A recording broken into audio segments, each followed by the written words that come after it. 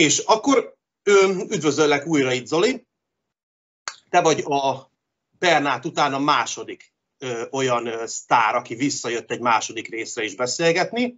Úgyhogy ezt, ezt először is ezt szeretném neked megköszönni, meg gyorsan ide szúrom a nézőknek, hogy az amúgy is zseniális hangtechnika most még rosszabb lesz, mert én éppen jelenleg haldoklom, tehát meg vagyok fázva, úgyhogy hogyha közben majd itt fújom az orrom, meg iszogatom a kis teámat, akkor, akkor ezt nézzétek el nekem, de amúgy se engem kell nézni, hanem, hanem a Zolit. Úgyhogy az előző interjúnál ugye ott hagytuk abba, hogy a 2015-ös Superbody Grand Prix kategóriáját ugye nyerted, és neked azért ezzel nem ért véget a karriered, mert utána még te ráhúztál erre két évet, ha jól tudom.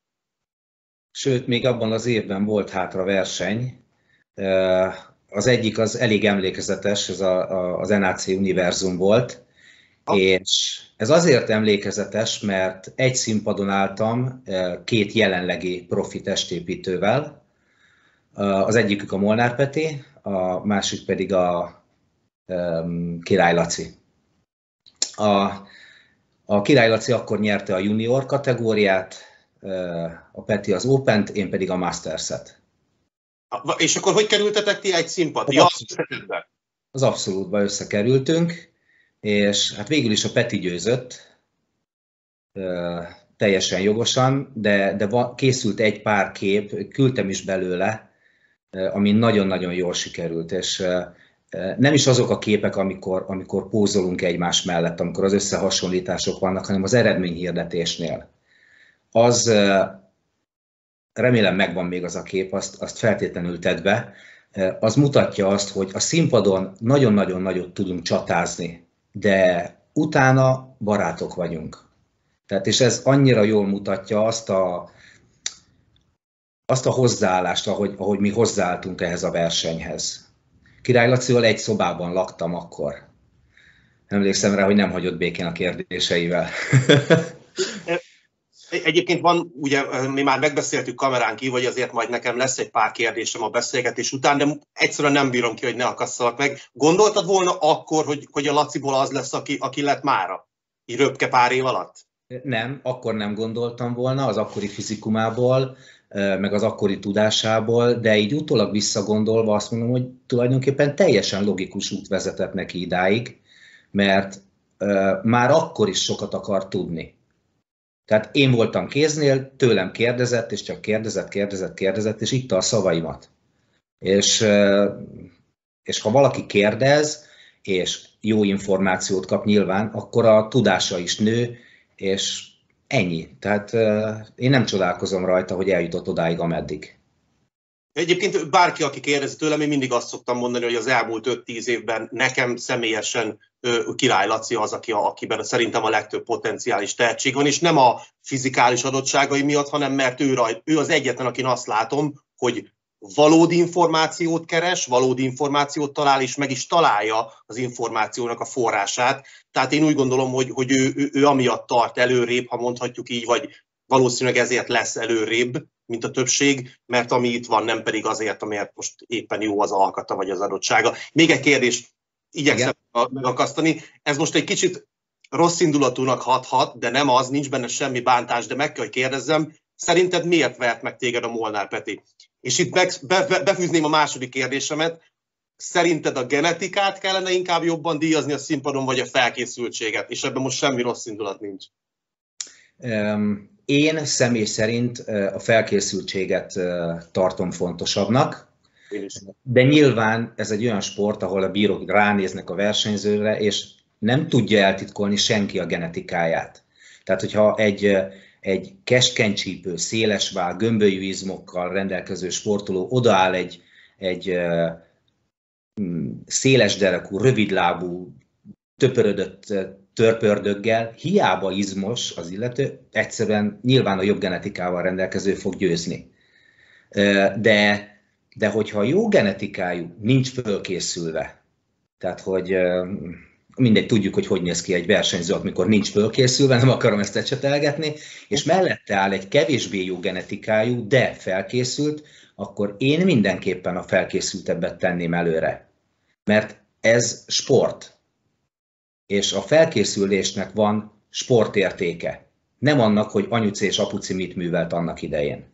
Így van. Egyébként, na, tényleg ígérem utolsó harmadik kérdésem. Ugye mindenki, ugye mindenki ezzel jön mindig, hogy szimetria, mert hogy ugye mondjuk most Petiről van szó nyilván konkrétan, meg rólad, és hogy ugye a szimetria, de hát te mit tartasz szimetriának? Azt, amikor minden izomcsoport arányos az összes többi izomcsoporttal, és egyformán száraz a versenyző mindenhol, vagy, amit ugye többség szerintem tévedésből azonosít a szimetriával, az az, hogy marha széles a vállad, és nagyon keskeny a csípőd. Mert a többség ezt hívja szimetriának. Az szimmetrikus, akinek széles a válla, kicsi a csípője, de szerintem az a szimmetrikus, akinek minden izomcsoportja egyformán fejlett és száraz. Mi a te véleményed? És ismét ebben semmi bántás nincs. Hogyha, hogyha a keskeny derék széles váll lenne a szimmetria, akkor a Jay Cutler soha nem nyert volna versenyt. Korrekt, így van. Tehát erre csak ennyit tudok mondani. Egyébként volt olyan verseny, majd erre is kitérek később, amikor a Molnár Peti odajött hozzám, és azt mondta, hogy örül, hogy ezen a versenyen nem kellett indulnia. Tehát, hogy ő is tisztában van ezzel, de, de ha csak megint a derék és vállarányokat nézzük, akkor a Tóddan is se tudta volna megverni őt soha. Korrekt, így van. Tehát, hogy, hogy nem, nem csak az számít bele a szimetriába, hogy, hogy mennyire lesz V, illetve X alakja, hanem hogy, hogy tényleg az izomformák, az izom mennyiség és a, a, azoknak az eloszlása, hogy, hogy milyen. Igazából nekem, én úgy gondolom legalábbis, hogy, hogy nincs kimagaslóan jó genetikám a testépítéshez. Ezért is kezdtem el versenyezni ilyen későn. Mert én nem akartam, én azt mondtam, hogy nem vagyok megfelelő genetikájú a, a testépítéshez, és nem akarok ebben foglalkozni. Edzek, mert, mert imádom, szeretem ezt a sportot, de versenyezni nem. Aztán valahogy mégiscsak belekerültem, és, és nyertem a versenyeket, és ezt annak tulajdonítom, hogy nem volt olyan testrészem, ami sokkal gyengébb lett volna a többinél. Tehát, Semmi sem volt nálam sohasem lemaradva. Semmi. Nem, nem, nem voltam Mr. Biceps, mert, mert, mert nem volt akkora karom soha.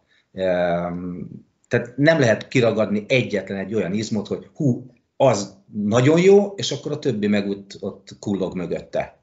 Én mindig próbáltam arra odafigyelni, hogy, hogy kiegyensúlyozott legyen a fizikumom. Mert ezt a mai napig vallom, hogy nem a legnagyobb fog győzni, hanem a legjobb. És hogyha a legnagyobbnak van egy olyan testrésze, ami nagyon-nagyon alulfejlett, akkor az, az látványos, akkor az nagyon nagy hiba a színpadon. De ha mindened megvan, még akkor is, hogyha egyik sem kimagaslóan jó, akkor az összkép nagyon jó lehet. És én mindig erre törekedtem. Jó, nem akasztalak meg többször, igen. Úgyhogy akkor ott jártunk ugye, hogy Superbody, és akkor utána NAC, és egy színpadon voltál ugye a Petivel, és hanyadik lettél egyébként az összetetbe? Nem hirdették tovább, tehát csak a bajnokot hirdetik, úgyhogy fogalmam sincs. Gyanítom, hogy én voltam utána, de hát ez soha nem fog igazából kiderülni. És említetted ugye, hogy ez Masters első hely volt. Mi volt a, a, a korhatára Mastersben? Mert ez is szövetségenként változik. Hány éves voltál? Ak- akkor voltam, bár 15-ben volt, ez ki se tudom számolni, hogy 46 voltam egyébként. Ah, komolyan? Hú, Igen. Azt hittem, hogy jóval kevesebb. Nem, 46. 46. Tehát nekem az első testépítő versenyemen voltam 42. Az igen. Tehát én akkor kezdtem el a testépítést, 42 évesen. Erről ennyit, hogy 40 fölött nem lehet fejlődni, ha? Hát szerintem lehet. És igazából a, a, a csúcsformám, a legjobb, az, az 2017-ben volt, tehát 48 évesen. És az milyen verseny volt? Hát az a szezon az úgy kezdődött, hogy Top de Colmar, ha az, az egy korai verseny, így április, április 1-én volt, igen, tudom, emlékszem rá, akkor április 1-én volt. Hát az a verseny nagyon nem jött össze. Én úgy mentem oda, hogy azt megnyerem, és igazából fogalmam sincs, hanyadik lettem, mert az első tízbe se kerültem bele. Valami gyomorbajt elkaptam, és arra a versenyre csináltam életemben először azt, hogy két napig ürítettem a szénhidrátot, tehát két napig nem ettem szénhidrátot. és valami gyomorbaj lett, és nem tudtam tölteni, mert lenyeltem egy falat kaját, és azonnal vagy alul, vagy fölül kijött három. Tehát olyan, szerintem olyan 91-92 kiló körül lehettem a színpadon, teljesen lapos izmokkal, csontszárazon, hát mindenki jött belőlem, még a víz is, viszont rettenetesen föl voltam fújódva. Úgyhogy nem is tudtam megfogni a pózokat, nem tudtam tartani a hasam, semmit, tehát hogy az, az, az egy borzasztó forma volt. Amikor jöttünk haza, egész úton koplaltam, ilyen kis kekszeket eszegettem, meg, meg sóskiflit, az már bennem maradt, két nappal később. Ja persze elkezdtem zabálni, hogy egy kicsit visszatöltsek, diétás kaját, tehát rizs, csirkemel, ez a szokásos testépítő kaja, de rostok nélkül. Tehát nem zöldséget. És két nappal később csináltunk fotót, és mondom, hogy ha így álltam volna színpadra, simán el is vittem volna a versenyt, ez egészen biztos. Tehát ilyen a verseny, tehát aznapra kell időzíteni, akkor nem volt formában kész. És ott engem sokan le is írtak azon a versenyen, hogy áh, vége, nem is kell visszatérnie, meg, meg nem is kell tovább erőltetni ezt a szezon, borzasztó. De engem nem ilyen fából faragtak. Tehát én, én fölkészültem az egész szezonra, be voltak tervezve a versenyek, és azt mondtam, hogy igenis fölállok, és végigmegyek ezen az úton. És készültem tovább, körül, hát, talán két vagy három héttel később volt a Frey Classic, amire szintén mentem, ott ötödik lettem, az még mindig nem az a forma volt, amit, amit szerettem volna igazából, de azért ott már jóval jobb volt a fizikum. Igen? Ott milyen kategóriába indultál Flykasszikon? Ott is Mastersbe vagy rendes Openbe? Rendes Openbe. Az, azért megyünk hozzá, mert nem mindegy, azért nem mindegy, hogy ugye... Egy, igen, nem. igen. Van egy, van egy kép, ami megjelent, ami körbe is járta akkor hirtelen az internetet, a Kaganovicsal. Egy, egy legizmosabb pózva. Profi azóta egyébként. Igen, és ő is, ő is profi azóta. Ott igazából az összehasonlításoknál vele csatáztam nagyon, sokat álltam mellette akkor a színpadon, összehasonlítottak minket, legalább háromszor körbeforgattak. Aztán végül is ötödik lettem nem tudom, hogy mi alapján, de nem feszegetjük ezt a dolgot. Az a, az, a, az a Dani Kaganovics, majd én teszek be róla egy képet. Itt egy olyan srácról van szó, aki egyébként például a Molnár Petit is elverte. Sőt, szerintem még azt hiszem a Tóth Danit is. És Cson nélkül lett profi utána egy évvel mellesleg, szóval... Magas, tényleg jó adottságú. A, a karja egy kicsit vékony, így a testéhez, törzséhez képest, de, de egyébként tényleg jó a srác. Tényleg jó. Na mindegy, Igazából a helyezéssel nem voltam megelégedve, de a formával viszont igen. Azt mondtam, hogy na ez, ez, ez a jó út, úgyhogy erre megyünk tovább. És utána jött az a verseny, ahol életem legjobb formáját tudtam hozni. Ez a Tropical Lasso Classic, az Andornak a verseny. Akkor így hívták, azóta változott a neve, de ő szervezte ezt a versenyt.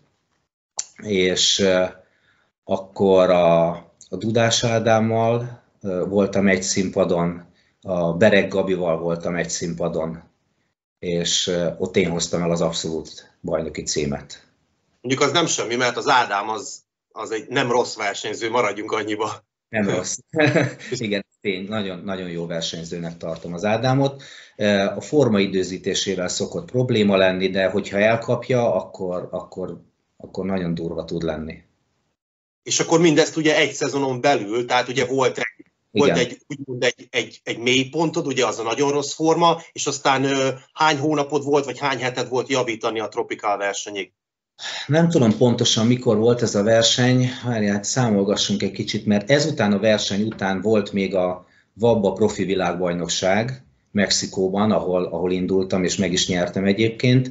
Az volt július közepetáján, és attól visszafelé 7 hétre volt ez a verseny. Tehát ez ilyen, ilyen június eleje lehetett talán, vagy, vagy május vége, június eleje, valahogy így.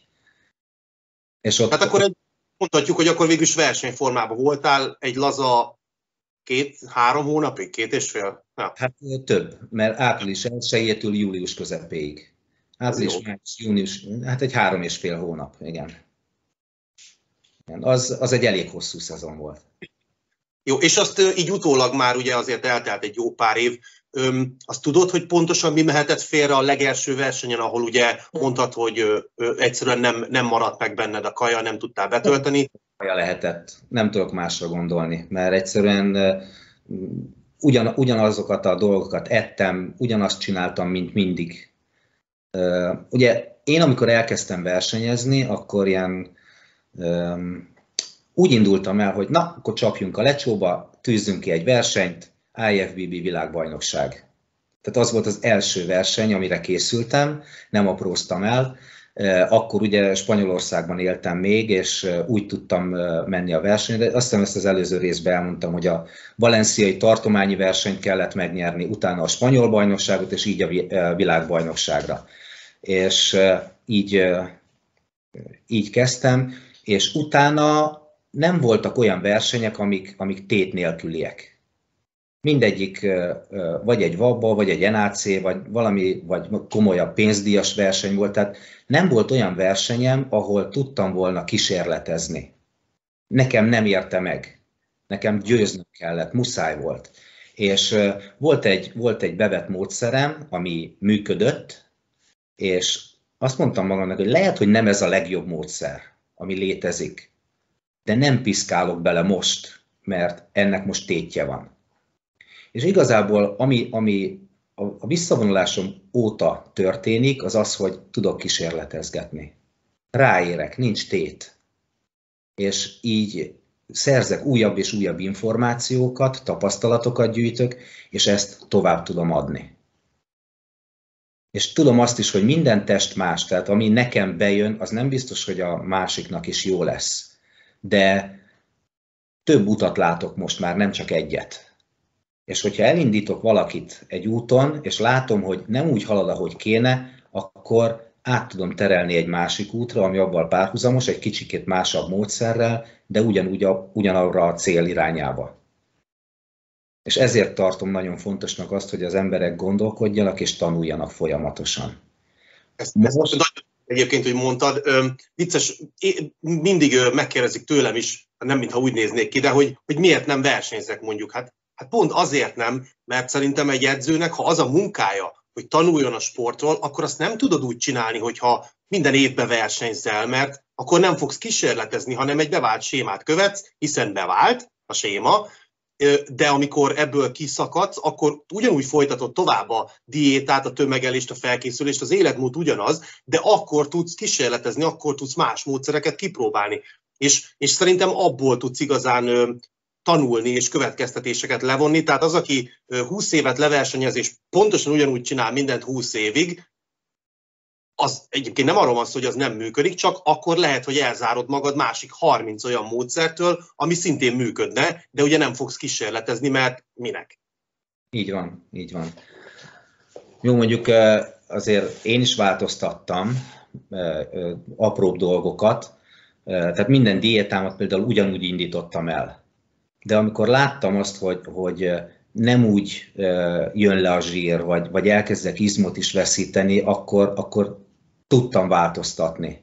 Tehát nem ragaszkodtam, ú, akkor is csak, csak ezt csinálom. És ilyenkor az az igazság, hogy apró változtatások elegek.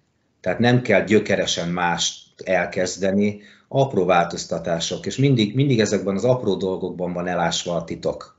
Tehát, hogy az emberek keresik a nagy titkokat, hogy hú, most akkor mit, meg hogy semmi extra, csak a részletekre kell odafigyelni, és húzamosabb ideig. Tehát az, hogy most volt egy vendégem, átlagemberről beszélünk, szeretett volna lefogyni néhány kilót, és hogy nem működik a diéta. Elkezdted már? Hát már majdnem. És hát akkor előbb kezd el. Na, akkor elkezdte, és három nap múlva jött, hogy nem működik, valamit csináljunk, mert nem működik. Mondom, három nap alatt nem is fog. Tehát, hogy, és, és kitartónak kell lenni apró dolgokon változtatni, és azt csinálni, csinálni, csinálni. Ennyi. muszáj megakasszal, akkor annyira jó, hogy ezt felhoztad. Ugyaní, ugyanígy vagyok én is ezzel, ugye, hogy mindig adódik a kérdés, hogy milyen gyakran kell változtatni a diétán, ha nem működik. Tehát mi az az idő intervallum, ami, ami alatt ki tudod jelenteni, hogy nem működik a diéta. És én mindig azt szoktam mondani, hogy attól még, hogy én minden nap kérek mondjuk update-et, tudod, testsúly, hogyan aludtál, hogy érzed magad, étvágy, stb. Ez nem azt jelenti, hogy majd napról napra fogok változtatni a diétán, hiszen ahogy mondtad, a deficithez, a diétához idő kell, és az én olvasatomban ez legalább 10-14 nap. Tehát ahhoz, hogy kijelentsük, hogy a diéta nem működik, hát minimum két hét kell hozzá. Ez nem azt jelenti, hogy két hetente kell beszélnünk, de biztos, hogy nem fogok változtatni semmit három nap alatt, mert három nap alatt még a tested fel se fogja, hogy egyáltalán diétázol, és mi a te véleményed, neked mi ez az időintervallum, ahol azt mondod, hogy érdemes változtatni. Persze tudom, hogy specifikusabbnak kell lennem, mert nem mindegy, hogy most az utolsó két hét diétáról van szó, vagy az első két hét. Tehát ezért mondom azt, hogy átlagembernél, mondjuk a diéta eleje közepénél, neked mi az az intervallum, ahol azt szoktad mondani, hogy ennyit nézzünk meg azért legalább, mielőtt valamit változtatunk? Én úgy szoktam kezdeni, hogy azt mondom, hogy, hogy összeállítjuk az étrendet, Általában ezt, ha csak lehet, akkor úgy csinálom, hogy leülök az illetővel, és egy beszélgetés alatt állítjuk össze. Tehát nem az, hogy otthon megírom, és akkor elküldöm neki e-mailbe.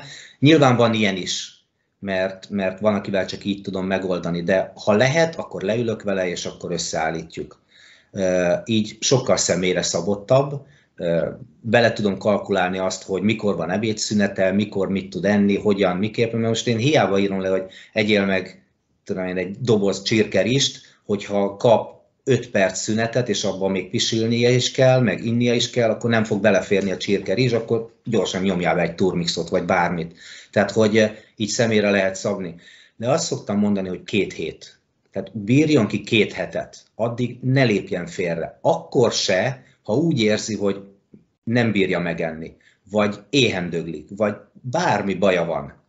Két hetet bírjon ki és ha tényleg kibírja, és akkor látjuk két hét után, hogy most két hét alatt lefogyott túlzott nyilván 32 kilót, akkor az gyors lesz, az túl gyors, akkor emelni kell a kaját. Ha hízott, huha, akkor baj van, akkor nagyon le kell venni, vagy, illetve és följebb tolni a, a kalória égetést. Tehát, hogy, de két hét mindenképpen kell így az indulásnál, hogy látszódjon, hogy merre felé fog elindulni a dolog. És utána lehet bármit korrigálni. Így van. Jó, és akkor ugye említetted, hogy, hogy lényegében a te karriered, ha nézzük az ívét, általában, amikor egy versenyző visszavonul, az úgy szokott lenni, ugye, mint tudjuk, hogy elindulnak ugye az eredmények, a helyezések lefelé, de nálad ez, ez végig lineáris volt, vagy mondhatjuk, hogy majd, hogy nem felfele, mert ugye két év alatt mondjuk a Superbody abszolút győzelemtől te eljutottál a világbajnoksági, ugye, vagy a világbajnoki abszolút győzelemig, és az első videóban megkérdeztem tőled, ha emlékszel, hogy hogyan élted meg a visszavonulást mentálisan, ugye a fizikális változásokat, ami mondjuk nálad nem is annyira drasztikus, de azt nem kérdeztem meg, hogy egyáltalán mi miatt döntöttél úgy, hogy visszavonulsz, mert hát azért az nem, nem egy logikus döntés, ha belegondolunk, hogy a csúcson hagyod abba. Tehát miért gondoltad azt, hogy akkor itt megállok, és, és nem kérek még egy világbajnoki címet, vagy még egy szuperbadi címet? Szerintem tök, tök logikus, hogy a, a csúcson hagyom abba. Um, Hát erre most sok mindent lehetne mondani, belekapok ide, ide is, oda is, jó, egy kicsikét.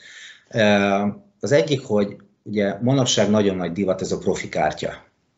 igen, bocs, hogy elnevettem, igen. Tőlem is kérdezték, hogy miért nem mész a profi kártyáért? 52 évesen? Tehát, hogy gondolkozz egy kicsit, tehát, hogy um, a Dexter Jackson volt 52 éves, és már neki is évek óta azt mondták, hogy vissza kéne vonulnia, vissza kéne vonulnia. De ő maradt, maradt, és tulajdonképpen egész jó formákat hozott még így az utolsó versenyeken is, e, és valószínűleg én is tudnék még jó formát hozni, de azért már látszik a kor. Ahhoz, hogy ne látszódjon, ahhoz viszont annyi mindent be kéne vállalni, és annyiba kerülne, amennyit én már nem tudok és nem is akarok rááldozni. Azért meg, hogy keressek egy olyan versenyt, egy kvalifikációs versenyt, ahol meg tudom nyerni, és megvan a kártyám, és utána ki tudom írni a Facebookra, hogy IFBB Pro, Igen. Tehát e, nem, ezt, ez, ez nekem nem, ez nem én vagyok. Szerinted üzletileg, mint edző profitálnál belőle, hogyha a neved mellett ott lenne ez? Mert sokan ezt gondolják. Hát szerintem sokan csak ezért csinálják, hogy ugye üzletileg hasznot húzzanak a, a titulusból. Tehát nem érzel késztetésre? Nem gondolod, hogy az esetleg nem. a... Nem. Nem. Nekem most nagyon sok munkám van, hál' Istennek. Tehát dugig van a naptáram, van olyan, amikor jelentkezik nálam valaki, és azt kell mondanom, hogy bocsáss meg, de nincs időm foglalkozni veled. Nem tudom hova betenni a te edzésedet. Mert azt nem fogom megcsinálni, hogy kis csoportos órákat tartsak, tehát hogy négy emberrel rohangálok egyszerre a terembe. Kettővel még igen. Tehát barátnők, barátok ugyanazt csinálják, ugyanaz a cél, hasonló erőállapotban vannak, tehát velük meg lehet oldani de ennél többet nem. Tehát szerintem nem lehet rájuk figyelni. És ha most profi lennék, akkor se tudna lenni több munkám. Lehet, hogy, lehet, hogy több versenyző jelentkezne, hogy segíts, készíts föl. De nem véletlenül nem toborzok csapatot. Tehát van egy úgynevezett kormos team, logója is van, pólónk is van, Jelen pillanatban van benne három ember, három versenyző, de nem feltétlenül kell nekem egy 15 fős csapat. Nem úszod meg. Ki az a három? az egyiküket úgy hívják, hogy Kátai Tamás. Most volt élete első versenye a Badi Sportkupán, hatodik lett, nem a helyezése számít. Én azt mondtam neki, hogy az első verseny célja az az, hogy élje túl. Így van. És mert lehet, hogy otthon gyakorol pózolni. Lehet, Igen. hogy a terembe gyakoroljuk, de ott nem ugyanaz, amikor le van vízhajtva, reflektorok vannak, bírók vannak, nézők vannak, tehát ott azt mondják, hogy balra ő elfordul balra, a mellette lévő elfordul jobbra, akkor ő kétségbe esik, és elkezdődik a forgolódás, tehát hogy nem, nem ugyanaz. Túl kell élni az első versenyt, ez legyen az első, ez legyen a cél és a lehető legjobb formát hozzuk. Nyilván nem ez lesz élete legjobb, legjobbja, mert ez is egy tanulási folyamat, hogy neki mi az, ami jó, de én meg vagyok vele elégedve nagy, maximálisan, tehát tényleg egy jó formát hozott. Jó adottságú srác, vannak hibák, évek, mire kiküszöböljük őket, de, de most megvan a lelkesedése, remélem meg is marad. Másikukat úgy hívják, hogy Lelkes Szabolcs, ő egy szlovákiai magyar srác, men's fizik kategóriában versenyzett tavaly, az idén nem jött össze családi és anyagi problémák miatt, de ő is szeretne még színpadra állni. Tartjuk a kapcsolatot, edz, ahogy belefér most az életébe, aztán ha minden letisztul, akkor újra belevágunk. És harmadikuk pedig az ő párja, Blanka Abelovska, Hát most uh, holnap megyünk versenyre, Szegedre, úgyhogy meglátjuk, hogy mi lesz. Nagyon jól indította egyébként a szezont, uh, az abszolút bajnoki címet is megnyerte, bikini kategóriában, 19 éves, ezt hozzá kell tennem, tehát hogy nagyon jó adottságokkal, és ami a legjobb benne, hogy fejben borzasztó erős. Nagyon kitartó, nagyon szorgalmas, és fejben nagyon erős. És ehhez a sporthoz ez kell mert azért itt néha érik az embert olyan, olyan élmények, ami úgy az élettől is elveszi a kedvét, nem hogy a versenyzéstől. Ő ezen is túl van már, összeszedte magát, legalábbis nagyon remélem, és ez majd holnap kiderül. Szuper. És ö, ezt ugye kérdezni akartam, tehát okkal kérdeztem, hogy kik ezek. Ugye tudni akartam, hogy hány férfi és hány női versenyződ van mert erre majd ugye később szeretnék visszatérni, de azért most megkérdezem, hogy mint edző, úgy, hogy ne hangozzon nagyon hülyén a kérdés, mennyiben válasz felelősséget az eredményeikért? Hogy miért kérdezem ezt? Én például öm, nem vagyok hajlandó egyáltalán versenyzőkkel foglalkozni, és ez azért van, mert A. Én magam nem versenyeztem, most kétszer vagy háromszor, az nem számít. Én szerintem az foglalkozom versenyzőkkel, aki maga is legalább legalább 10-20-szor indult versenyen, különben nem fogod tudni az utolsó két hetet valószínűleg megoldani. A diétát azt meg lehet tanulni, még majd, hogy nem, majd, hogy nem könyvekből is, de az utolsó két hetet azt nem. Tehát ez nekem alapból kizárva, és a másik, hogy senkinek a színpadon elért eredményért nem vagyok hajlandó úgymond felelősséget vállalni. Ha belegondolsz, most a diétáért felelősséget vállalsz. Na de ahogy beszéltük is egy pár perce, most mi, mi, tört, mi mehet félre? Max nem fogy, semmi gond, következő hét napban orvosoljuk, és utána majd megy a diéta. Tehát olyan túl sok minden nem mehet mellé, de ugye azért versenyen, főleg az utolsó két hétnél, ugye tudjuk, hogy két millió dolog mehet félre, és én azért ugye nem tudnék sohasem felelősséget vállalni, nem tudnék vele szerintem mentálisan megbirkózni, és ezért, ezért kérdezem, hogy te hogyan kezeled ezt, mekkora szerinted a te szereped egy ilyen versenyző esetében, és hogyan éled meg az ő sikereiket, vagy esetleg kudarcaikat, mekkora szerinted a te felelősséged ebben? Hogyan éled meg a te szerepedet ebben? Szerintem, szerintem az edző felelőssége óriási. Hogyha, hogyha a sportoló úgy áll hozzá, ahogy kell. Tehát én úgy gondolom, hogy a sportoló, hogyha megbíz egy, egy felkészítőt, hogy segítsen, akkor szóról szóra, betűről betűre be kell tartania azt, amit az edző mond. Mert ha nem, akkor, akkor mit mondjon az edző? Miben kell vált, tehát fogalmasa lesz arról, hogy miben kell változtatni, ha nem tudja, hogy mit csinált a sportoló. Viszont mivel én mondom meg, hogy ő mit csináljon, ezért maximális a, a, a felelősségem. És ez tényleg nem könnyű dolog. Tehát a, aki, aki úgy áll hozzá, ahogy kell szerintem, akkor az nem fog elvállalni 40-50 embert, mert nem lehet egy versenyszezonra fölkészíteni 10-20-30 lányt vagy fiút. Nem tudsz mindenkivel úgy foglalkozni. Tehát nekem a, a, én a telefonnal a kezemben alszom az utolsó héten, mert megmondom a sportolóimnak, hogy figyelj, ha bármi van, bármi, valamiért nem tudsz aludni, vagy hasmenésed van, vagy akármi bajod van, hívjál azonnal, vagy írjál, orvosoljuk rögtön, mert most már nincs idő arra, mint a felkészülés elején, hogy te figyelj, ezen a héten nem fogytam. Nem baj, oda neki, van még 18. Így van.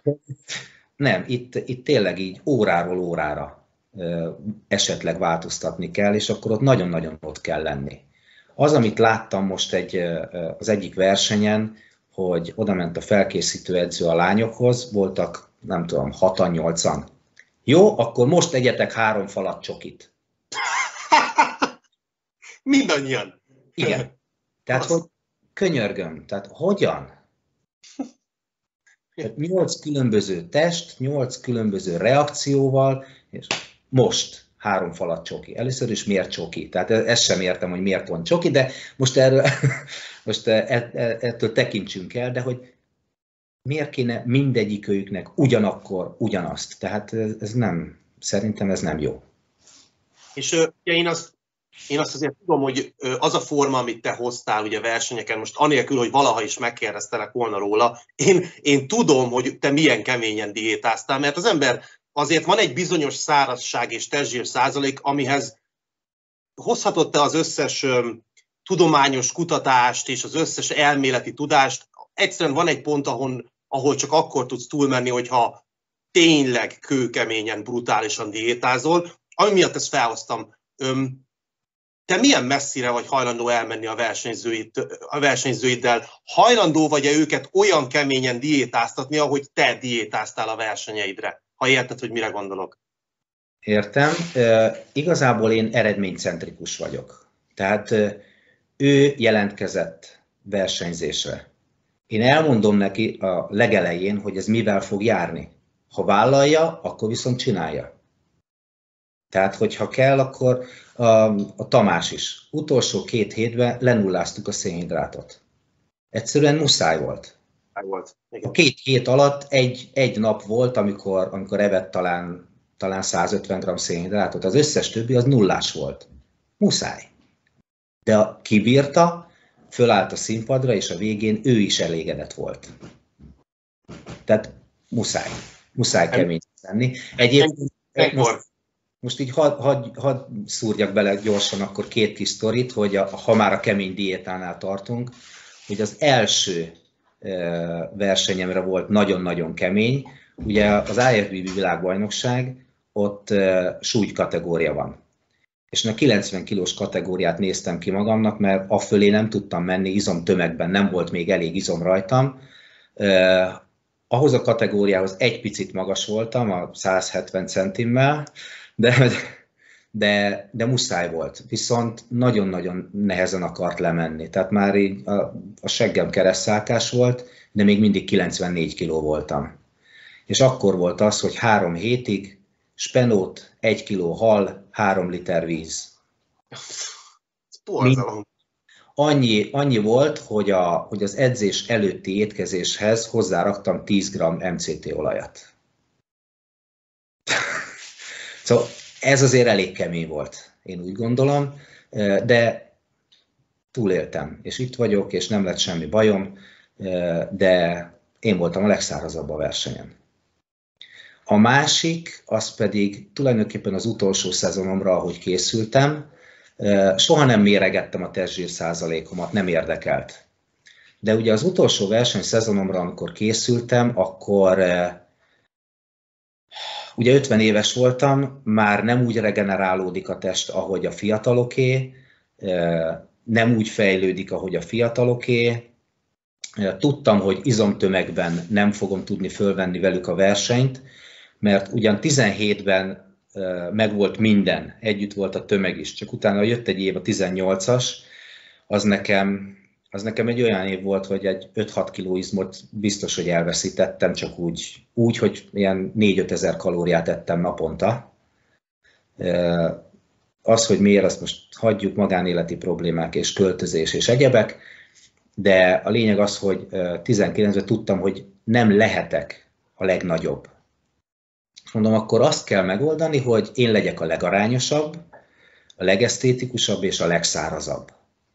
Ehhez két dolog kellett, hogy a, nem túl keskeny csípőmet, derekamat lehető legszűkebbre összehúzni, és, és a lehető legszárazabbnak, zsírmentesebbnek lenni.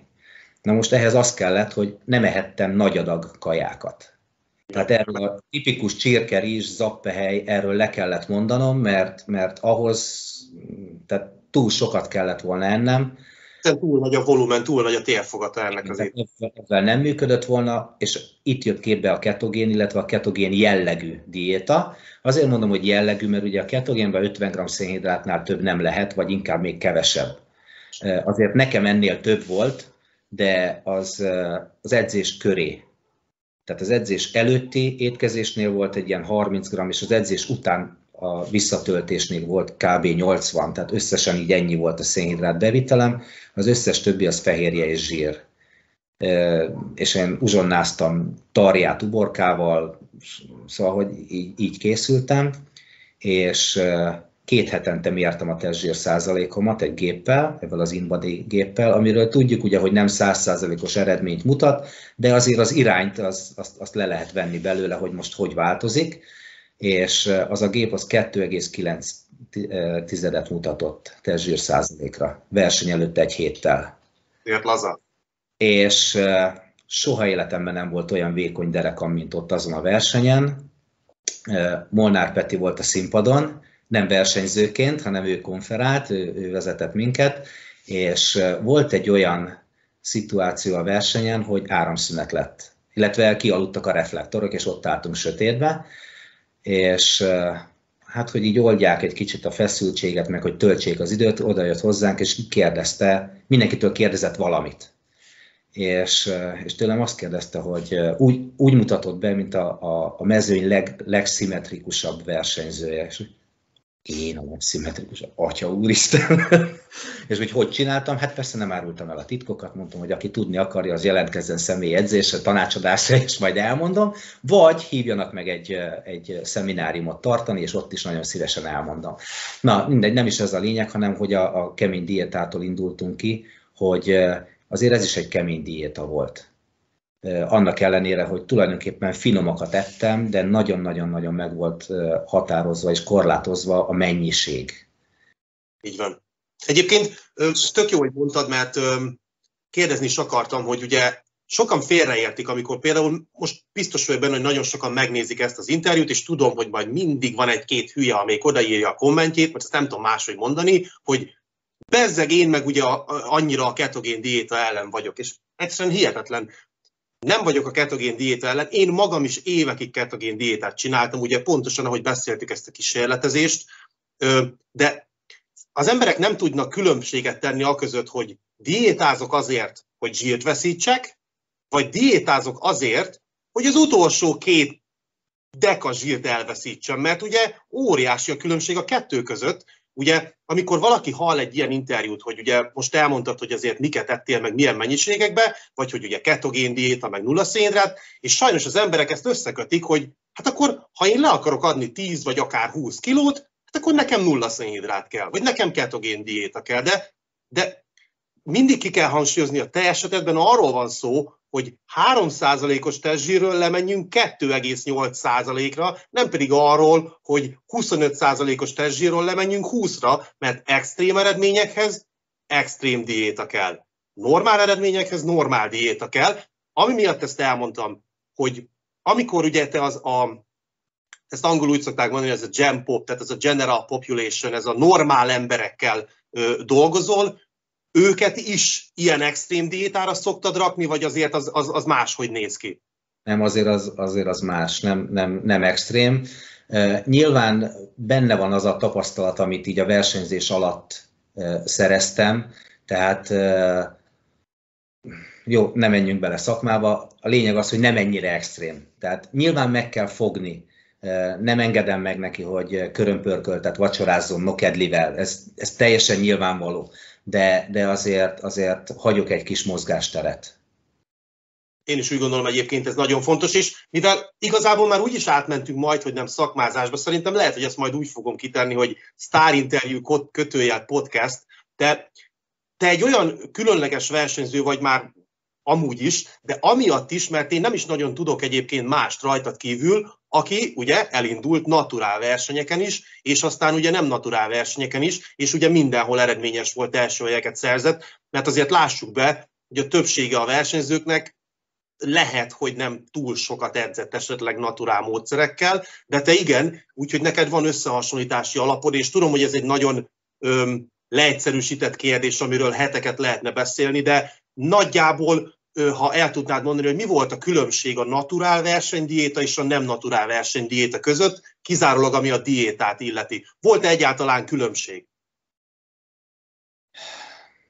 Tulajdonképpen nem sok különbség volt.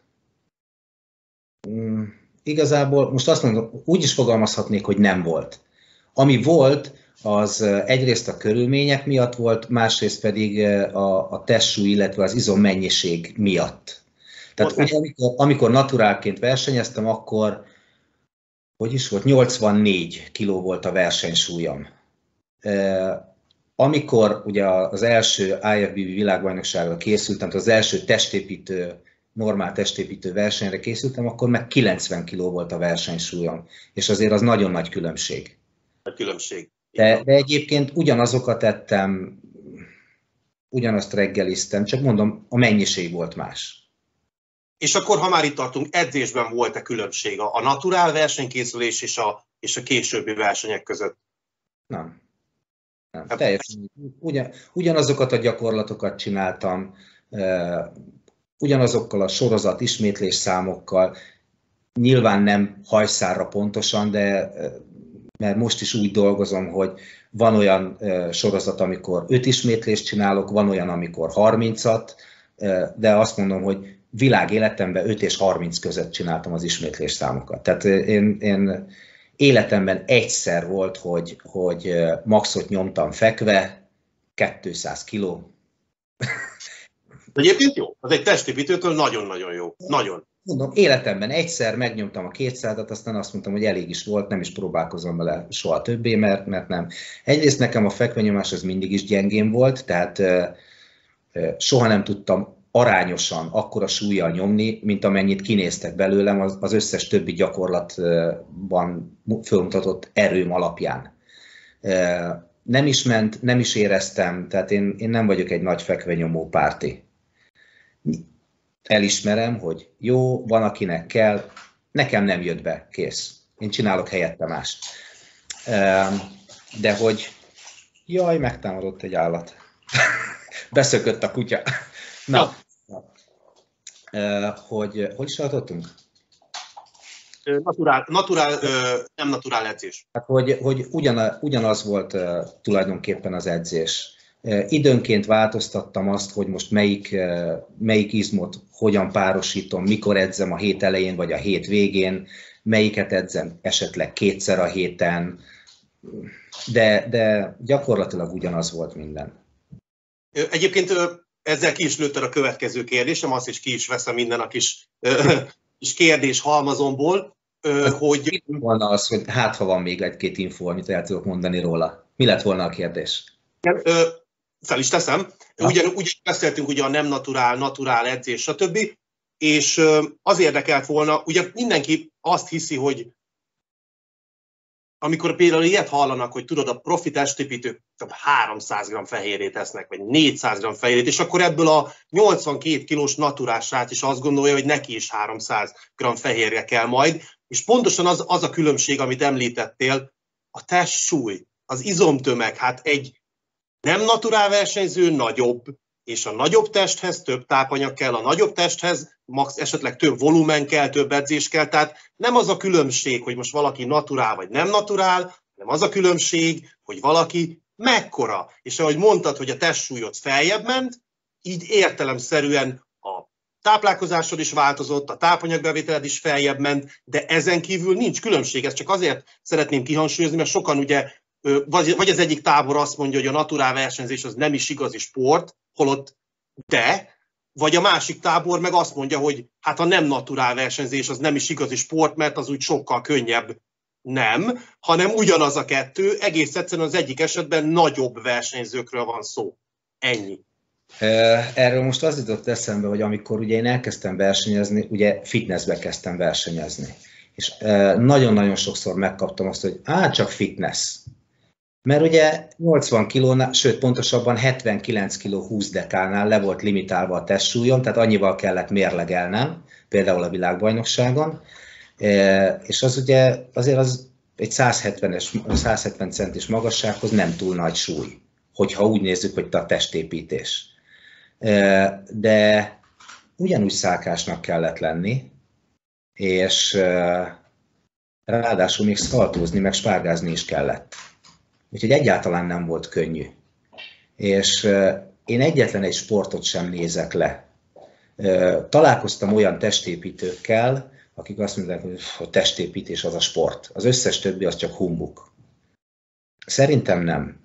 Tehát én ugyanúgy tudok tisztelni, és, és, és becsülni, és elismerni a sportértékét egy, egy teniszezőnek, egy úszónak, akár egy futbalistának, hogyha olyan, de minden sport nehéz, hogyha valaki profi módon űzi. Mindegyik. Én is nyilván, egyébként... Nyilván más dolgokat kell csinálni, de hogy, és itt most akkor kitérhetünk arra is, hogy testépítés kontra erőemelés. Mert itt is vannak ám viták. Az erőemelők, hogy ó, fekvenyomás, felhúzás, guggolás, semmi más nem létezik a világon. De könyörgöm, ez testépítés, amivel mi foglalkozunk. Itt igenis létezik koncentrált biceps, oldalemelés, stb. stb. Tehát én nem vonom kétségbe az ő teljesítményüket, nekik olyan edzés kell, nekik a nagy súly kell, néha olyan borzasztó technikákat látok, van nálunk a teremben egy srác. A fekve nyomása az olyan, hogyha, hogyha ha nem tudnám, hogy ő versenyző, akkor vizes papucsal verném agyon, hogy mit szerencsétlen. De mivel tudom, hogy ő erőemelő, és betartja a szabályokat, tehát szabályosan nyom, az, hogy borzasztóan néz ki, az egy dolog. De kinyomja a jó Isten tudja hány száz kilót. Tehát ennyi, kész. Nem testépítő szemmel nézem az ő fekvenyomását, hanem erőemelőként, és akkor viszont tök jó. Akkor ezt, ahogy felhoztad, ezzel egyébként a harmadik kérdésemet is kiveszem a kupacból. Muszáj megkérdeznem, azt ugye a videó elején említettem, hogy a, a te videód milyen ugye népszerű lett, és hogy százszázalékos pozitív fogadtatása van. Hát ezt most akkor le fogjuk rombolni, és szerintem közellenséget csinálok belőled ezzel a kérdéssel, de meg ja. kell kérdeznem, mert te, ugye te, ahogy mondta, tornász voltál, és ugye utána lettél testépítő, Szerinted a testépítés sport-e, vagy szépségverseny? Ha jobban belegondolsz. Ha jobban belegondolok? Na, nem, a, nem az edzőterv, nem a felkészülés része, hanem pusztán a verseny sport része. Sport-e, vagy szépségverseny? Na, akkor itt most megint az van, hogy ahogy én csinálom, az sport. Ahogy sokan csinálják, az szépségverseny. Tehát nem, nem tudok egyértelmű választ adni, hogy vagy ez, vagy az, mert ha valaki komolyan veszi a felkészülést, és ott a színpadon is figyel, akkor ott azért kőkemény munka van. Tehát nem könnyű úgy ott állni, hogy minden izmodat kontrollálod, mindegyiket feszíted. Nem csak akkor, amikor kint vagy elől, hanem amikor ott állsz hátul. És azt hiszed, hogy a bírók nem téged néznek. De igenis, néha néznek. Képzeld el a szituációt, hogy vagytok 15-en a színpadon. Három ötfős csoportba fognak megnézni benneteket először. Ugye kimész az első körbe, bírók kérik a kötelező pózokat, megvan, jó, vissza-hátra. Jön a következő ötös, nézik őket, és van egy közülük, aki úgy olyan, olyan forma-forma veled. És hogy el tudják majd dönteni, hogy téged, vagy őt hívják majd ki az összehasonlításnál, benéznek oda hátra. Hogyha te ott éppen akkor a orrodat túrod, vagy éppen iszol, vagy éppen vakarózol, és így szuszogsz, vagy lihegsz, vagy bármit csinálsz, akkor véged van. Ennyi volt a verseny neked. Tehát ott hátul is igenis tartani kell, és ott is dolgozni kell. Tehát az ott sport. Na most vannak, akik ezt nem így csinálják, hanem föláll a színpadra, és akkor amikor kint van, akkor megpróbálkozik a pózolással, ahogy tudja, bemutatja, aztán hátra megy, és akkor ott beszélget, meg lemegy inni, meg a jóisten tudja még, hogy miket szoktak ott művelni. Az szépségverseny. Tehát az, akkor, az... akkor tovább megyek. Ugye az eredmények szubjektívek.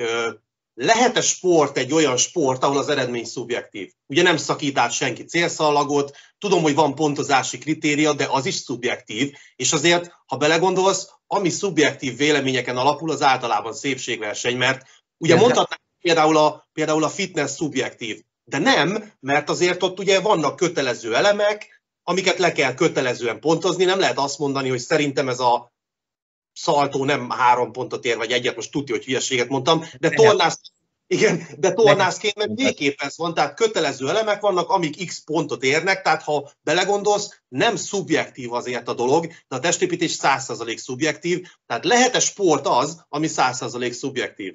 Ha így nézzük, akkor nem. Aha. ha így nézzük, akkor nem. Azonnal 10 dislike lesz majd, de egyébként én is úgy gondolom, hogy a színpadhoz vezető út az a sport, de maga a versenyzés az nem biztos, hogy egyébként sport. Én másképp szoktam egyébként ezt megfogalmazni, és erre a diszlájkosok majd így eltüntetik a diszlájkot, és nyomnak egy dupla lájkot. Szerintem a testépítés az három dolog egyszerre. Egyrészt sport, tehát amit az edzőteremben művelünk, feltéve, ha tényleg edz rendesen. A másik része az tudomány, gondolok itt például táplálkozásra. A harmadik része az pedig művészet és ez a színpad, a verseny. Feltéve, hogyha belefekteti az energiát a pózolásba, és nem csak az van, hogy jó, oké, így kell, úgy kell, amúgy kell fogni a pózokat, majd ott menni fog. Nem, nem fog menni. Annak idején nekem az edzőm, még tornáról beszélünk, a tornász edzőm azt mondta, hogy a versenyen az fog menni, amit az edzésen gyakorolsz.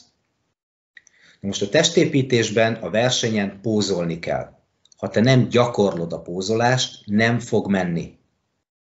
És hiába csinálsz te biceps edzésen 3-4 biceps poszt az edzés után vagy közben a sorozatok között, az nem olyan. Tehát le kell vetközni, oda kell állni a tükör elé, és tudom, hogy fáradt vagy, tudom, hogy vége az edzésnek, le is kardióztál, alig van benned szénhidrát, de akkor is meg kell csinálni. Mert ez is az edzés része, és ebből lesz a művészet a színpadon. Amikor ott vagy, és ugyanúgy szenvedsz, mint bárki más ott melletted, de nem látszik rajtad. Mert vagy egy elegáns papofával, vagy egy enyhe mosolyjal, nem ebből a televigyorral, de hogy ott vagy, és szépen mozogsz. Nem úgy, mint egy, egy zárlatos robot, totyorogsz vissza, hanem egyszerűen az, hogy, hogy tudod, hogy merre mozdul a kezed, merre kell tenni a lábadat, mennyire kell visszafordítani a csípőt, hova nézel, hogy állnak az ujjaid, tehát hogy minden apró részletre oda kell figyelni, és ez a része művészet. De ezt is gyakorolni kell. Követed egyébként a, a, a jelenlegi, tehát a, a profi testépítést, láttad-e most a legutóbbi Mr. Olympiát, vagy az Arnold klasszikot, tehát mennyire vagy, mennyire vagy napra kész a, a, a külföldi versenyzésben? Úgy követem, hogy így az eredményeket, meg, meg fotókat szoktam nézni, de nem nézem élőben, tehát így hajnalban nem kellek föl csak azért, hogy lássam rögtön, hogy most melyikük fog győzni, de azért, azért követem úgy nagyjából. És mi a véleményed a, legutóbbi Mr. Olympia versenyről? Mondjuk csak legyük, nézzük a, a top 3-at, vagy top 5-öt, nem tudom. Tehát szerinted reális volt, tetszik-e neked az az irány, amerre ez a sport megy?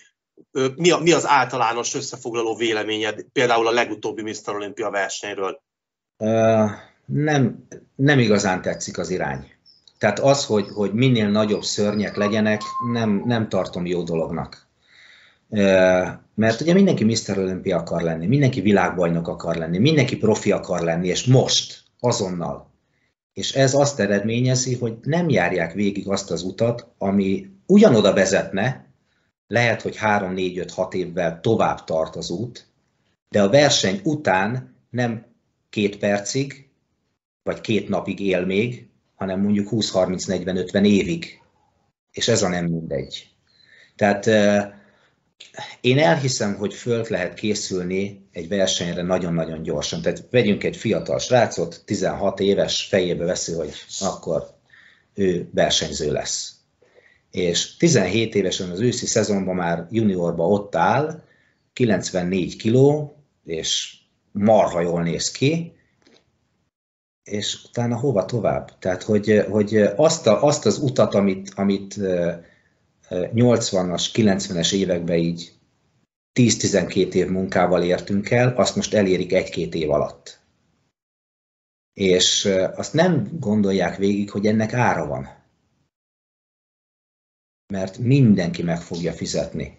És nem hiszem, hogy ér annyit ez az egész. Tehát most ez furcsa tőlem hallani, hogy én világéletemben sportoltam, versenysportoló voltam, és a mai napig a véremben van. Sokan megmondhatják azt, hogy amikor kint vagyok egy versenyen, és eredményhirdetés van, és látom a győztest, és és így küzdenem kell a könnyeimmel. Mert átélem azt az érzést, amit, amit ő érezhet. Lehet, hogy ő nem is érzi azt, amit én igen. Mert az első világbajnokságom után nekem is kellett egy hét, mire földolgoztam. Tehát ott a vében, uh, magasba emeltem a kezem, örültem, tök jó volt, uh, utána jól bezabáltunk, tök jó, uh, minden. Aztán egy héttel később emlékszem rá, hogy éppen vezettem, és egyszer csak így Satufék, félreálltam, és elkezdtem bőgni. Atya, Úristen, én vagyok a világon a legjobb. Föl tudod ezt fogni? És most is borsózik a fú, mindenem. Szóval, hogy, hogy ez ilyen. És aki nyer egy verseny, nem biztos, hogy ott a színpadon ezt érzi. De én így nézem az ő eredmény hirdetését. És, és amikor egy ilyen, ilyen eredményeket látok, hogy ilyen gyorsan jön valaki, már belelátok annyira a sportba, hogy tudom, hogy ennek mi volt, az, hogy, hogy hogyan készült föl, hogy, hogy mit tett ezért, és azt is tudom, hogy ennek nagyon-nagyon gyorsan vége lesz. És nem biztos, hogy úgy lesz vége, mint ahogy ő azt szeretné. Én azt szeretném, nekem most van egy tervem, amit most még nem fogok elárulni, remélem, hogy egy hónapon belül fölrobban tőle az internet, de ez majd kiderül. Én nem valami valóság show a tévében, mondd, hogy nem. Nem, nem valóság show a tévében, nem, nem, nem. Szakmai dolog, és remélem, hogy azt is sokan fogják nézni, de hogy azt szeretném, hogyha az emberek elkezdenének gondolkozni egy kicsit. és mérlegelni. Használni ezt a bogyót itt, ami a nyakukon van, arra, amire való, tehát tényleg gondolkozni. És hogy ne az legyen csak, hogy a pillanatnyi siker, hogy most legyen 500 lájkom, vagy 1000 követőm, hogy ne ez legyen a mérvadó. Ne az legyen, hogy hú, most akkor most már én is kiírhatom, hogy IFBB Pro, és most már csináltathatok 30 ezerért egy feliratos övet. Nekem is van egyébként feliratos övem, vettem 2000, nem tudom én hány száz forintért a boltban egy bőr súlyemelő övet, fogtam ezt a fehér hibajavítót, és ráírtam hátogra, hogy kis. Ez az én becenevem, a párom szokott így hívni, úgyhogy nekem is van névre szóló övem, és benne van 3000 forintban. Tulajdonképpen ezt azért csináltam annak idején, hogy egy ilyen kis görbetükröt tartsak ennek a, ennek a mert tényleg nagyon jól néznek ki az övek, tehát le a kalappal a gyártójuk előtt, mert tényleg profi munkát végez, de hogy valaki azért csinálja ezt az egészet, hogy legyen egy ilyen övem, könyörgöm, lehet. Ja. Hát, hogy, hogy kupád is lehet, akár mennyi. Bemész egy boltba, és tényleg pár száz vagy pár ezer forintért vehetsz olyan kupát, amilyet akarsz, rágravíroztathatsz azt, amit akarsz, de az csak egy köcsög lesz. Tehát amit belül érzel, akkor, amikor neked játszák a himnuszt, na az a valami. Amikor visszavonulsz, és utána tovább tudod adni a, a, a tudásodat, az már valami. Az, hogy te vagy a legfiatalabb világbajnok, és két év múlva a jóisten tudja, hogy mi bajod lesz, az nem hiszem, hogy követendő példa lesz bárkinek is. És sajnos az a baj, hogy, hogy manapság ezt látom. És ez nem tetszik.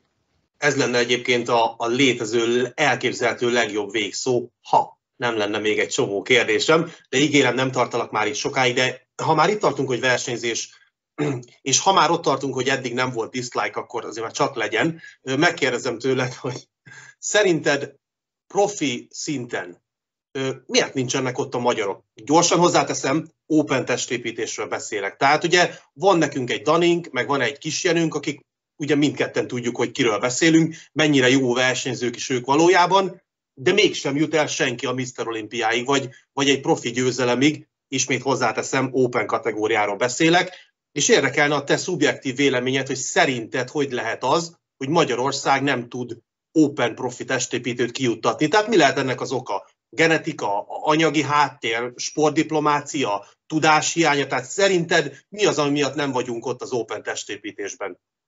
A genetika biztos, hogy nem indok erre. Sok minden más lehet.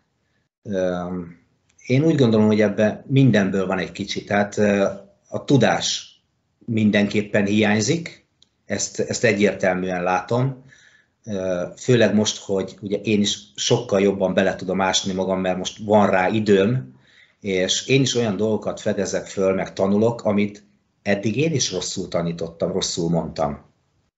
De, de én ezt belátom. Tehát, hogy sokszor hallom, hogy hú, láttam azt a videódat, ami nem tudom, 15 évvel ezelőtt készült, és mondom, atya, úr, Isten, ne, könyör. Tehát, hogy annak a videónak a 80%-ával ma már nem értek egyet.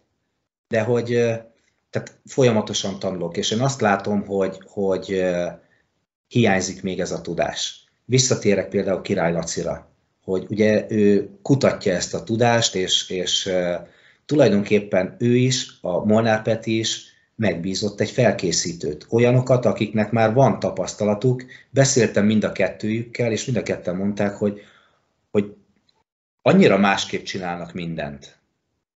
És hogy nem az a, nem az a titkuk, hogy, hogy na, hatszor annyit kell nyomni.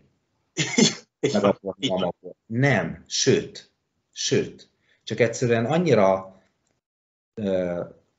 jól időzítenek, fölépítenek, előkészítenek mindent, olyan dolgokra figyelnek oda, amik, amikre egy átlag testépítő nem is gondol. Lacinak van videója például az alvásról, a regenerációról.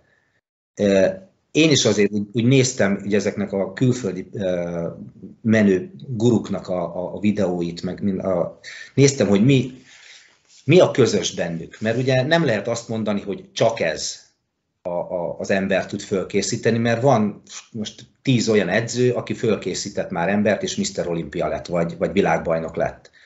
És mindegyik esküszik a saját módszerére. És mi a közös bennük? Kettő dolog, ami biztos, hogy közös. Az egyik az az, hogy intenzitás, tehát hogy az intenzitást növelik valamilyen módon, a másik pedig a regeneráció. Ez a kettő közös. És ezzel, ezekkel a dolgokkal nem nagyon foglalkoznak manapság a testépítők itt Magyarországon.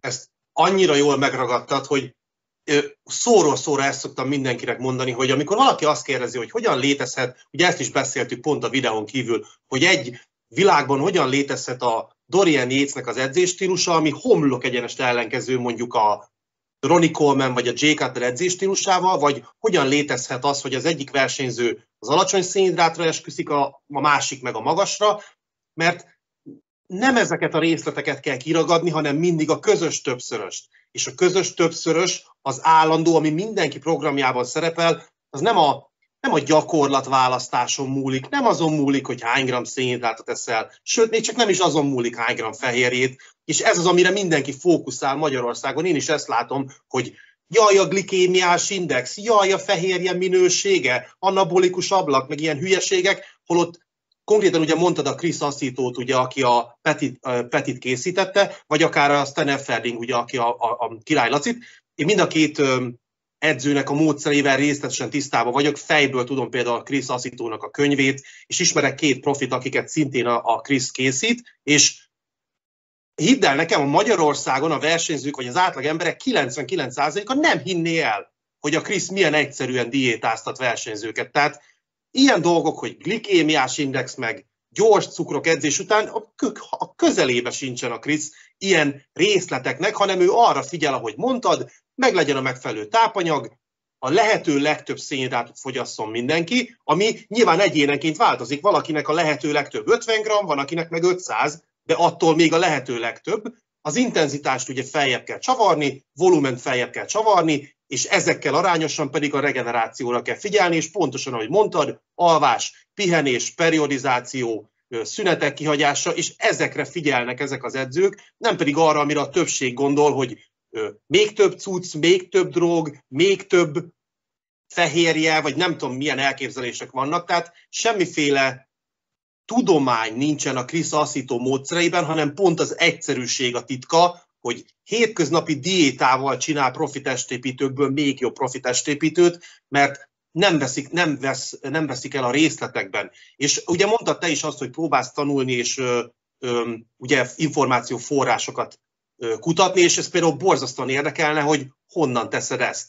Tehát honnan, konkrétan honnan próbálsz információhoz jutni. Nyilván feltételezem, hogy, hogy külföldi weboldalakról vagy külföldi edzőkről van szó, mert én, én például magyarul, megmondom őszintén, nem igazán találtam még megfelelő szakirodalmat, legyen szó akár edzésprogramozásról, akár diétáról, tehát te honnan szerzed be az extra információt?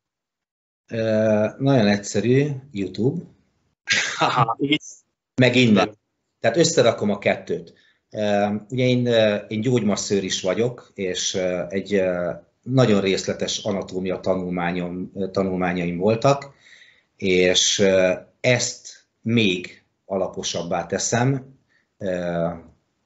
ilyen, ilyen orvosi oldalakról, és igazából én ebbe a részébe vájtam bele magam nagyon. Tehát nem annyira az étkezésbe, nem, nem annyira a kémia részébe, hanem, hanem, hanem az anatómiába, tehát magába az edzésbe. Ugye ezt két dolog miatt lett, az egyik az az, hogy ez az, ami, ami, amihez legjobban értek, ez az, amivel világéletemben foglalkoztam, ez érdekel legjobban, és ráadásul, hogy amikor a Szájtek csapat tagja lettem, akkor a Bani elnevezett engem edzőgurunak. És mondom, hát meg kell felelni ennek a, ennek a névnek, úgyhogy ebbe ástam bele magam, tehát így jött ez az egész, és, és igazából a, a, azt nézem, hogy, hogy, hogy a gyakorlatokat mennyire rosszul csináljuk. Tehát, hogy magamról is beszélek, mert nekem is vannak kedvenc gyakorlataim, és nem tudom azt mondani, hogy nem hatékony, mert, mert lett tőle vállam, lett tőle hátam, és, és fú, tök jó, de nem az a legjobb megoldás. És ezeket az apró kis változtatásokat látom most, és, és ezeket tudom továbbadni. És ezek olyanok, hogy ha valaki ezekkel kezdi el, akkor le tudja rövidíteni az időt, egyrészt a fejlődési időt, másrészt el tud kerülni olyan sérüléseket és fájdalmakat, amiken én is, meg mindenki más átmegy, aki a régi módszerrel csinálja a gyakorlatokat. Annyira jó, hogy ezt mondtad, de most egyébként nem tudom, észrevetted, de saját magadat szivatod, mert nem tudlak elengedni ismét, mert annyira jó dolog, ugyanis pontosan ugyanebben a helyzetben vagyok én is, egy olyan 6 5-6 évvel ezelőtt itt ugye Angliába beiratkoztam egyetemen egy edzőképzésre, pusztán azért mondom, hogy legyen papír, mert hát ugye én már 20 év után tudom az anatómiát, és az első kérdés az anatómia előadáson az volt, hogy melyik az az izom, amelyik hátra húzza a lapockát, és melyik az, amelyik előre. És így csak így pislogtam, tudod, aztán jött a következő kérdés. Öm, vagy csak mi is volt? Azt tudod, ja, igen, ö, térdemelés ugye térfelhúzás, tudod, hasedzésről beszélünk, és akkor az volt az előadónak a kérdése, hogy ha a hasizom nem hidalja át a csípőizületet, ami ugye tény, akkor hogy a bánatba fogja a láb felemelése edzeni a hasizmot? És így száz ember így ült némán. És ott döbbentem rá, hogy hú basszus, nekem közöm nincsen az anatómiához 20 év edzés után, és akkor ott aznap dölt el reggel 8 órakor, hogy engem semmi más nem érdekel már szinte, csak az anatómia, és imádom ezt a részét, imádom ezt a, ezt a részét a sportnak, és anatómiáról átugrok a következő kérdésemre, ami már... Bocs, mielőtt átugrál, egy érdekesség, hogy azt tudod, hogy melyik a test legkisebb csontja? Igen, de nem fogom tudni megnevezni. Ez a cikk. Akkor csak annyit mondják, hogy hol van. Nem a boka? Nem. Mond. Hallócsontocskák. Oh, az igen. Na jó, oké, tedd fel a kérdésedet. Jó, ö, ö, igen, hogy az anatómiára átugorva, és ígérem, ez már az utolsó, vagy az utolsó előtti lesz, van-e olyan, hogy kötelező gyakorlat? Van-e olyan, hogy egy gyakorlatot muszáj csinálni? Mert ezt is, ez is annyira elterjedt, ugye tudod, hogy ha vastag hátat akarsz, akkor felhúzni muszáj, ha vastag mellizmot, akkor fekve nyomni muszáj, mert hát ugye Arnold is nyomott fekve, teljesen logikus, hogy azért lett jó a mellizom, mert fekve nyomott, Na mindegy.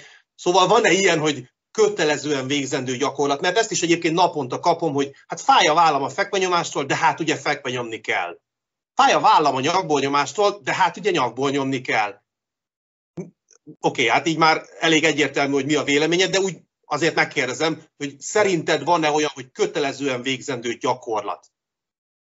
Nincs. Nagyon egyszerű, nagyon rövid. Szerintem kötelező nincs, semmi sem kötelező semmi sem kötelező. Én mindig azt mondom, hogy az edzést személyre kell szabni. Ezt a munkámban is alkalmazom, meg a saját edzésemben is. Tehát, hogyha ha valami... Tehát, nagyon sokáig nem tudtam googolni szabad súlyjal. Egyszerűen az, hogy, hogy eltöltöttem 46 évet az élsportban, annyira összenyomta a súly, a nagy súly a, a, a gerincemet, hogy szinte összeértek a csigolyáim. Így lehetett, amikor valami olyan gyakorlatot csináltam, ami, ami függőleges irányba nyomta össze a gerincemet, és akár egy kis ilyen fél centis, egy centis forgás vagy hajlás volt valamerre, lehetett hallani, hogy recseg ropog a gerincem. De így tőlem másfél méterre állt a srác az edzőterembe, ahol ugye még a zene is szól, és akkor is lehetett hallani és ezek az összes olyan gyakorlatot ki kellett hagynom, amiben tulajdonképpen nagy súly van a vállamon, vagy a, vagy a kezemben, tehát csukjázni sem tudtam így állva nagy súlyjal. És ráfeküdtem egy kicsit a rehabilitációra, csontkovács, masször, denevérpad, stb. stb. És most már tudok. Újra, újra tudok szabad súlyjal googolni, és minden más gyakorlatot végezni, amit, amit évekig nem tudtam és googolok is, mert szeretek, de azért észszel.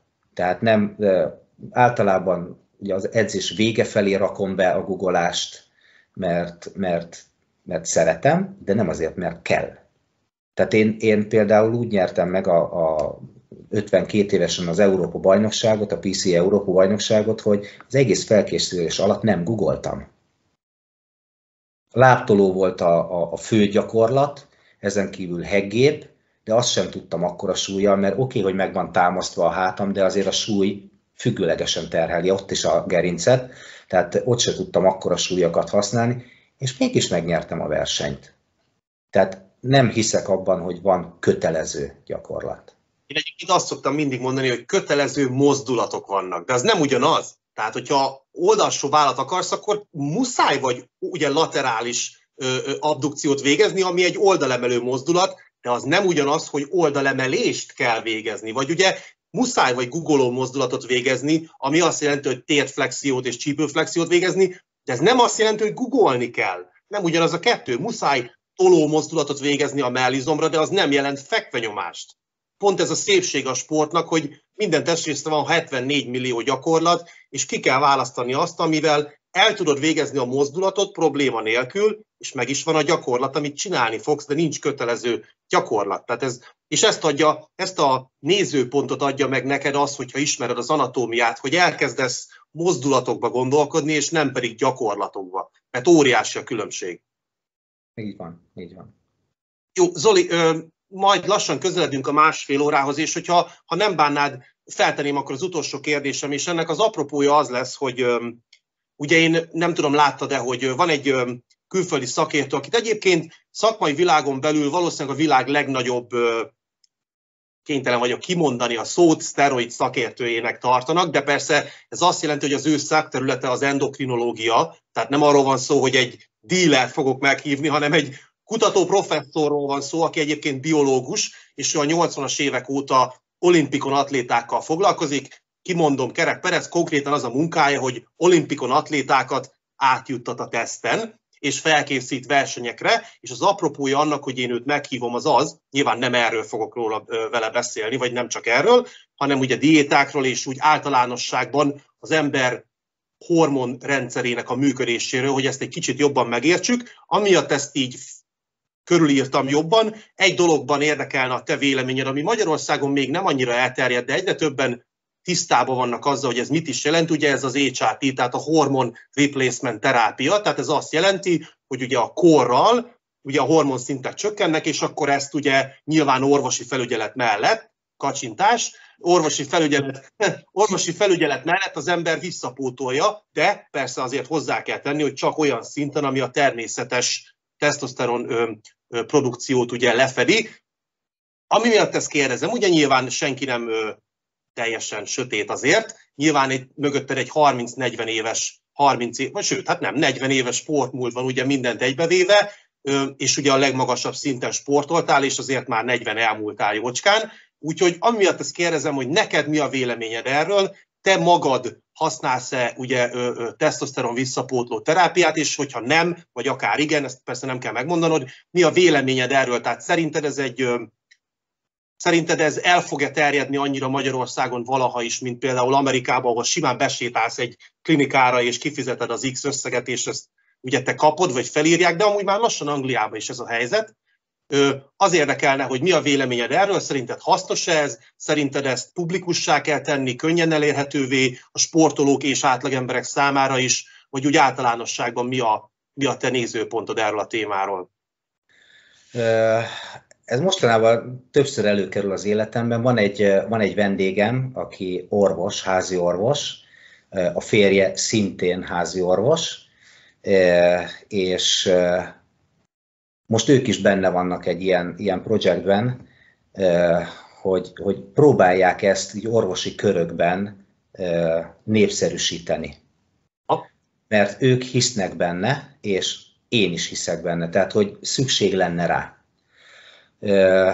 Ugye, ahogy, ahogy beszélgettem velük, hogy rengeteg betegség abból adódik, hogy, hogy ez, a, ez a hormonháztartás megváltozik, és csökkennek a hormonszintek, és nem tud úgy regenerálódni, nem tud úgy védekezni, nem tud úgy működni a test, a szervezet, mint addig, és ezért betegszik meg.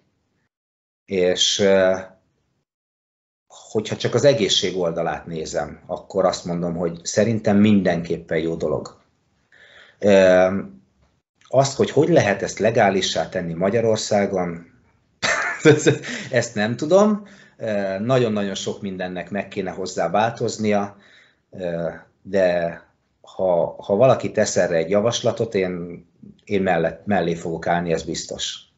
Ez, ezért érdekelt volna, mert egyébként azt hiszem Viktor az egyetlen, Lauter Viktor az egyetlen, és azt hiszem Alex, akit megkérdeztem erről, és ők is ugyanezt mondták egyébként, hogy, hogy igenis Nyilván, ha indokolja az egészségügyi állapot, tehát hogyha valakinek maximális a tesztoszteron szintje, és 32 éves vagy, akkor lehet, hogy nem kell, de... Bocsáss meg, hogy közvágok, és itt visszatérnék egy picit a, a fiatal testépítő versenyzőkre, hogy amikor valaki fiatal, és eddig van tesztoszteronnal, akkor minek kívülről bevinni iszonyatos mennyiségeket? Tehát csak ebbe gondolj bele nem te, most a, nézőknek mondom, vagy annak a fiatal testépítőnek, aki ezen gondolkozik esetleg, hogy csúcsra van járatva a tested. Mit akarsz még tőle? Tehát amit a, mi ez a filmsorozat? Ez a halálos iramban. Amikor... Honnan néztem meg az utolsó részét, még csoda, hogy tudok egyáltalán beszélni, annyira rossz volt. Igen. Megy az autó ezerrel, érted? És akkor megnyomja a piros gombot, és akkor bum, megint robban, és iszonyatos teljesítmény, és beérkezik a célba, és mindenki őrjön, hogy de jó, megnyerted a versenyt. Aztán jönnek a rendőrök, és akkor hú, gyorsan meneküljünk, és visszaül ugyanabba az autóba, és elszágult vele. Az életben ez nem így néz neki, mert az, azzal a piros gomb megnyomásával az autónak a motorját tacsra vágod, de teljesen, a szervizbe is úgy megy be, hogy fölrakják a trélerre, és elviszik. Na most te ugyanezt csinálod a saját testeddel, amikor tök jól működik minden, minden optimalizálva van a természet által, és te adsz neki egy baromi nagy fröccsöt. Szerinted meddig fog ezt tartani? Egyébként baromi, hogy ezt mondtad, és most nem akarom ugye Broderick Chavez-t még jobban bereklámozni, mert ugye elvileg jövő héten lesz fel a podcast, és még nincs százszerzalékban lefixálva, de ö, nem véletlen az például most a legutóbbi olimpián 12 embere volt színpadon, de ugye mivel egy olyan emberről van szó, aki konkrétan ugye ö, ö, mindenki tudja, hogy ugye az endokrinológus kutató, hogy az mit jelent, ugye, hogy mi az, a, mi, az, az, mi az ő szakterülete, ezért az ő nevével sokan nem szeretnék a saját nevüket általában összefüggésbe hozni, tehát ő mindig a háttérben van. De a jelenlegi olimpián 12 embere volt színpadon, mindenki a top 5-be végzett, vagy a top 10-be, és a lényeg az, hogy anélkül, hogy részletekbe belemennék, mert nyilván ő fogja ezt elmondani, de ő például, képzeld el, hogy egyetlen atlétának sem, függetlenül attól, hogy éppen a Mr. Olympia top három egyik atlétájáról van-e szó, senkinek sem ír fel nagyobb mennyiségű tesztoszteron, mint 500 mg, és azt mondta, most tudom, milligramokról nem beszélünk, de te tudod, miről beszélek, azt mondta, hogy még 350 mg fölé sem nagyon visz fel soha senkit, ami nem azt jelenti, hogy ennyi az, amit használnak, hanem tesztoszteronból ennyi az, amit használnak. Mert, ahogy mondtad, amikor valakinek ott van a saját termelése, egy fiatal atlétáról van szó, akkor specifikusan a tesztoszteron az, amiből pont abból kell a legkevesebb. Az, hogy mellé még más milyen ugye komponenseket használ, az más kérdés, de azt specifikusan ő soha nem viszi ennél a mennyiségnél feljebb, ami azért, amikor egy nem egy gururól van szó, hanem egy biológus kutató gururól, akkor elgondolkodtató, hogy talán esetleg a többség csinál valamit rosszul.